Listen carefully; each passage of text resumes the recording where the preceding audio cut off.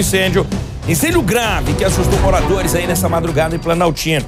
Cinco pessoas estavam na casa quando as chamas aí se alastraram. Ana Bianchini, ela foi lá e mostra pra gente agora, Aninha, com você. A proporção do incêndio foi tão grande que chamou a atenção dos vizinhos e de outros moradores da região. A casa que fica na quadra 10 de Planaltina ficou assim, completamente destruída. O seu Oswaldo tem 80 anos. Estava dentro do imóvel quando o fogo começou. Ele foi dormir por volta da meia-noite e acordou no susto às três e meia da manhã. Foi uma vizinha que arrombou o portão da casa e retirou o seu Oswaldo de dentro do quarto. Eu estava dormindo. Quando eu vi, escutei batido, né? A cachorrinha latiu. E eu peguei e fui levantar logo rapidinho, né? Porque qualquer hora da noite que bater aí, eu levanto, né?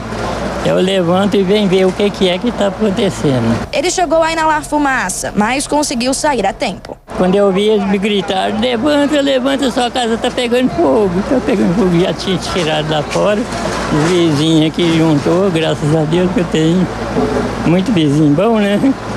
Aí ele pegou e chamou, eu peguei e saí na carreira logo. A ex-companheira do seu Oswaldo mora em uma casa que fica no mesmo lote e que também foi consumida pelas chamas.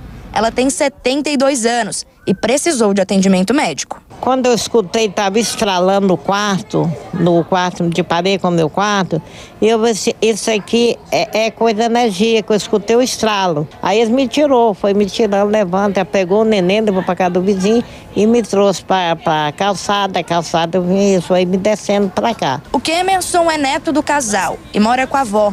Ele viu o momento em que o fogo começou em um dos quartos, que fica no fundo do imóvel. Ele é pai de um bebê de dois anos de idade, que também estava no local. Quando eu cheguei na cozinha já estava a fumaça. Aí eu peguei, fui tirando ela, voltei, fui lá no quarto. Quando fui ver, o fogo já estava comendo tudo já. Foi muito rápido. Muito rápido. Por aqui o cenário ainda é este. Os bombeiros precisaram derrubar as paredes da casa para conseguirem acessar o lado de dentro e controlar o incêndio minimamente. Mas até agora ainda tem bastante foco por aqui. A maior dificuldade é porque do lado de dentro da casa tinha muito material inflamável, como madeira, pneus, ferragens e até mesmo roupas para doação.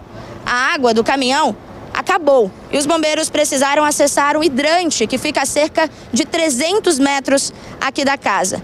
Ficou tudo completamente destruído.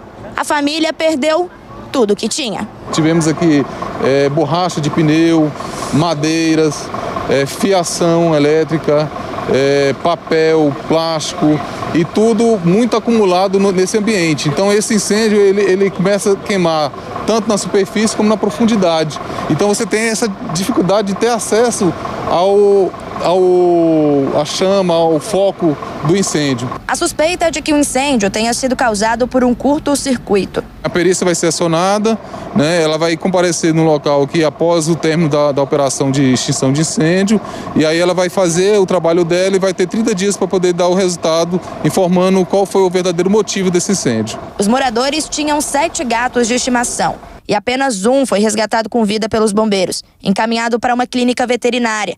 Pelo menos seis viaturas atenderam a ocorrência. Agora a família conta com a ajuda de doações. Perdeu tudo, tudo. Eu só fiquei com a roupa do corpo. Mais nada, não tem mais nada. Ali queimou tudo, não deu para salvar nada. Mas graças a Deus nós salvou a vida nossa, né? Mas queimou tudo. Eu vou precisar de todo quanto é tipo de doação. Graças a Deus a senhora tá vivinha aí, contando essa história pra gente, todo mundo que tava na casa. Agora destruiu literalmente tudo mesmo, né? Vocês viram aí na reportagem que a família perdeu e não sobrou nada. Quem quiser e puder ajudar, é só entrar em contato com nossa equipe aqui pelo telefone 3212 3800. 3212 3800 que a produção passa para vocês aí, pra gente não colocar no ar e a família acabar recebendo bastante trote aí. 3212 3800, tá bom?